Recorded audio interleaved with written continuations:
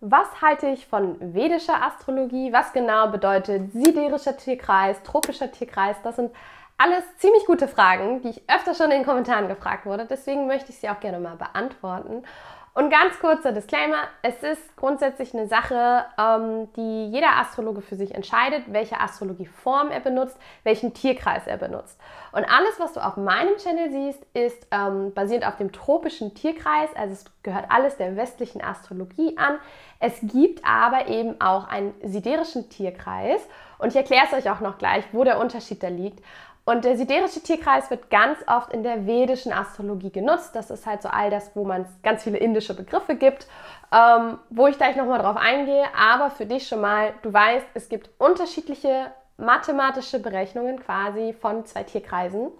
Und das ist quasi, wenn du auf meinem Channel bist und alles hier siehst, das ist alles tropisch, alles, was du bei astro.com automatisch eingibst in der Maske, wie sie gibt, basiert alles auf dem tropischen Tierkreis. Ich dachte aber, ich vergleiche euch die beiden. Keins davon ist besser oder schlechter. Das ist, ähm, beide haben ihre Vor- und Nachteile, würde ich sagen, oder können einfach unterschiedlich genutzt werden. Deswegen fangen wir erstmal an mit der tropischen oder mit dem tropischen Tierkreis. Der tropische Tierkreis basiert so in der Theorie auf einem heliozentrischen Weltbild. Das bedeutet, Helios, die Sonne, sie steht im Zentrum und alle Planeten inklusive der Erde bewegen sich um die Sonne herum. Wir wissen auch, dass die Erde sich selber täglich einmal um die eigene Achse dreht und der Mond sich einmal, ja, einen Monat braucht, um die ganze Erde zu errunden. Die Sterne, also die Sternbilder, die fixen Sterne, sind eigentlich von dieser Weltanschauung fest am Himmel sozusagen fest und bewegen sich nicht. Und deswegen ist es eigentlich so, dass man bei der tropischen Astrologie, westlichen Astrologie, davon ausgeht, dass, oder dass man vor allem die Wanderung der Sonne durch die Tierkreiszeichen abhängig von den Jahreszeiten beobachtet. Die astronomischen Jahreszeiten werden terminiert durch die Tag- und Nachtgleiche, das nennt sich Äquinoxien, und auch die Solistien, das sind Sommer- und Wintersonnenwende. Und die bestimmen quasi unser astrologisches Jahr. Und wir wissen auch, wenn du auf meinem Channel schon warst, dass es bestimmte Tierkreiszeichen gibt, die zum Beispiel am Anfang einer Jahreszeit stehen. Und das sind die kardinalen Tierzeichen, sodass wir wissen, wenn wir den Widder im Sternbild sehen, dann ist das der Frühlingsbeginn. Genauso wie der Krebs uns den Eintritt in den Sommer markiert, die Waage den Eintritt in Herbst und der Steinbock den Eintritt in den Winter. Das sind also die Tierkreiszeichen, die immer am Anfang einer Jahreszeit stehen. Und wir haben aber auch zum Beispiel die fixen Tierzeichen, das sind immer die mitten einer Jahreszeit und die Variablen, die immer einen Übergang bilden. Also grundsätzlich ist es so, dass der tropische Tierkreis eben auf diesen Jahreszeiten basiert. Und Jahreszeiten sind aber im Vergleich zur siderischen ähm, Astrologie oder zum siderischen Tierkreis eher vage. Warum? Weil sich eigentlich ähm, ja alles so ein bisschen verschiebt und das ist nämlich schon, glaube ich, der größte Unterschied zwischen diesen beiden. Im tropischen Tierkreis schauen wir also auf die Beziehung der Sonne zur Erde. Und das heißt, auch in der westlichen Astrologie ist sie einfach sehr stark fokussiert auf das Sternzeichen, was du vielleicht jetzt schon weißt, was deine Sonne ist.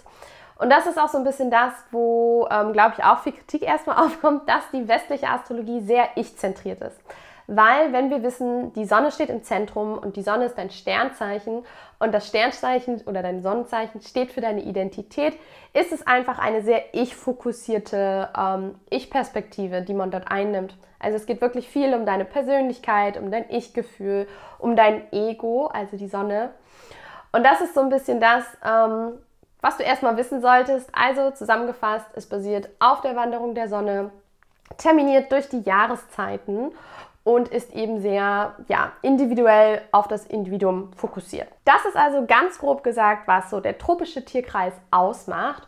Und ich habe es ja gesagt, es gibt kein richtig oder falsch, für welches man sich entscheidet. Also es gibt auch vedische Astrologen, die zum Beispiel den tropischen Tierkreis nutzen.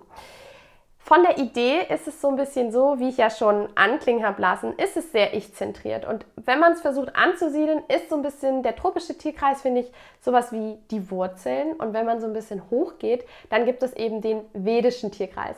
Und der vedische Tierkreis ist eben der, der so ein bisschen, ähm, ja, das größere Bild mit einbezieht, sagen wir es mal so. Der siderische Tierkreis basiert auf den fixen Sternbildern, aber er begeht davon aus, dass die Sterne sich auch bewegen. Also ganz klar ist hier der große Unterschied, dass es wirklich ein größeres Bild einfach mit einbezieht, also wirklich den gesamten Kosmos eigentlich. Und ähm, ja, wir zum Beispiel in der tropischen oder westlichen Astrologie einfach durch Jahreszeiten versuchen, Tag, Tag und Nachtgleiche, versuchen die Sternbilder immer zur selben Jahreszeit am selben Zeitpunkt zu sehen.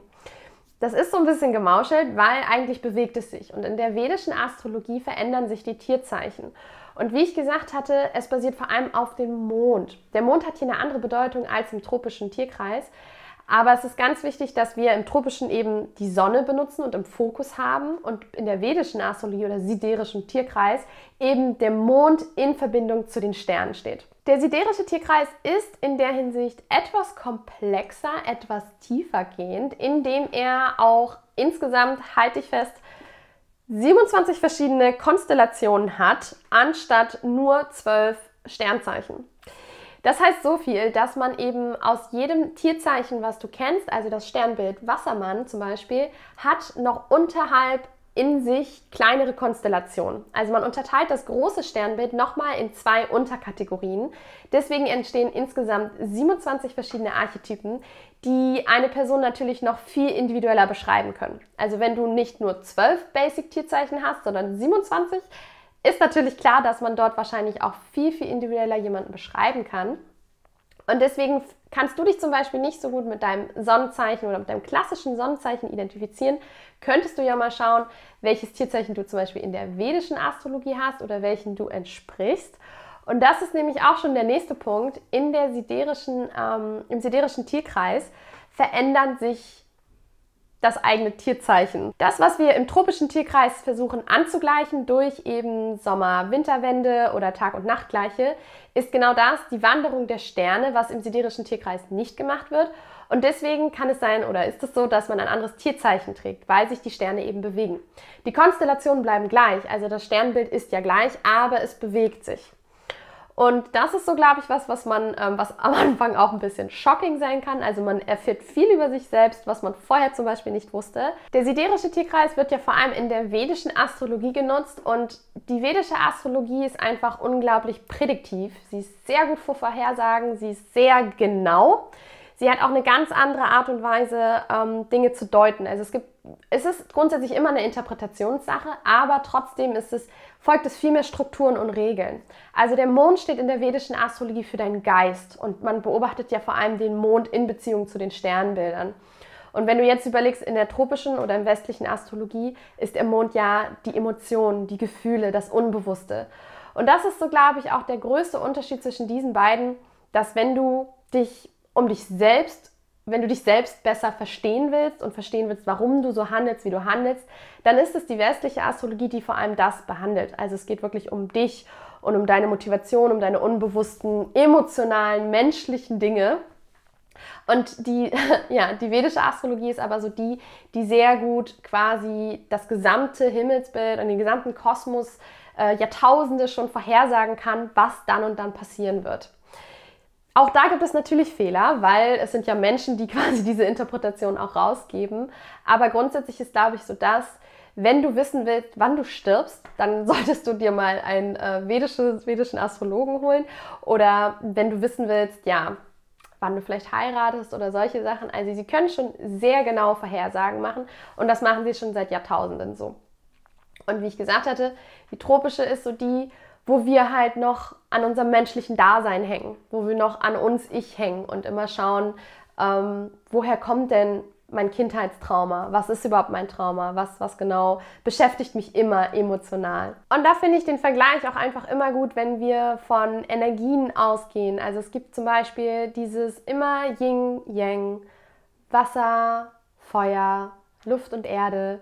Also grundsätzlich immer dieses, ja, unterschiedliche Ansichten, Männlein, Weiblein, die auch diese Energien tragen. Und ich finde, die vedische Astrologie hat einfach eine sehr maskuline, starke Energie. Also sie ist wirklich dieses, sie folgt Regeln, das und das passiert, das und das ist das, was du tun wirst. Ähm, da gibt es nichts dran zu rütteln.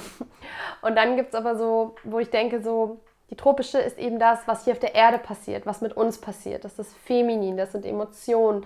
Also Wasser und Erde sind so die, die ja einfach sehr gefühlsbetont sind. Und ich finde, Luft und Feuer ist sowas, was ich zum Beispiel einfach mehr vedisch irgendwie dem zuschreiben würde. Und da denke ich mir auch manchmal, dass es ein bisschen eben auch die Kraft von uns Menschen wegnimmt. Ich bin ja jemand, der ja vor allem sehr psychologisch irgendwie das auch betrachtet und vor allem immer den Beobachter anschalten möchte und der ja auch jemandem was in die Hand geben möchte. Und die vedische Astrologie ist einfach die, die sehr schicksalsbasiert ist, wo es wirklich darum ist, so von wegen, ja, du hast eh nichts zu sagen, weil das ist alles schon festgeschrieben und das wird alles schon genauso passieren.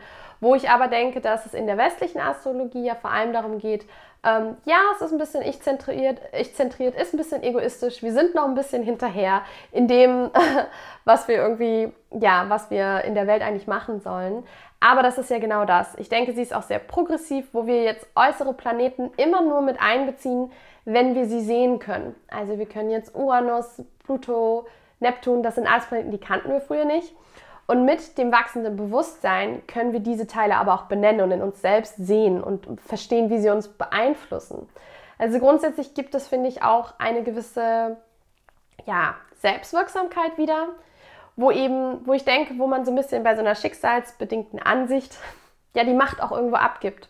Und irgendwie bei uns, das aber so in der tropischen Astrologie man ja noch mal gucken kann, dass man ja selber auch Macht hat, indem man sich den Dingen bewusst wird. Und dadurch entsteht ja auch Heilung. Also ich glaube, wir alle haben den Wunsch, die Erde zu heilen und das können wir eigentlich immer nur, wenn wir bei uns selbst anfangen. Und da sind wir nun mal in den westlichen Ländern eben dabei, erstmal zu verstehen, uns selbst zu verstehen und was das eigentlich für unser Außen bedeutet und wie es unser Außen beeinflusst. Also das sind so meine Gedanken zu vedisch, tropisch, siderisch ich hoffe, es war ein bisschen verständlich. Ich hoffe, du hast jetzt auch den ersten Einblick dafür bekommen, wie ich das so sehe. Und wie gesagt, es gibt kein richtig oder falsch. Beides ergänzt sich. Wie ich auch denke, hat manchmal auch so ein Sinnbild von Baum, wo ja, wo es Wurzeln gibt, wo, die tropische, wo der tropische Tierkreis einfach unsere Wurzeln sind, wo es um Ich geht. Und wenn wir bereit sind, höher zu gucken, dann können wir uns in der vedischen Astrologie ja auch ein großes Gesamtbild holen. Also hast du es noch nie gehabt, dann such dir auf jeden Fall irgendwie jemanden, der dir vielleicht mal so ein Reading geben kann für so ein vedisches, weil das ist doch nochmal ganz schön aufschlussreich, was man so über sich erfährt. Ich hoffe, das Video hat dir gefallen. Ich freue mich, dass du zugeschaut hast. Like es gerne, kommentier es gerne. Lass mich auch wissen, ob ich da doch noch mehr drüber erzählen soll. Es ist nicht mein Steckenpferd. Es interessiert mich total, aber ich kann euch natürlich, wenn ihr Fragen dazu habt, gerne noch welche beantworten.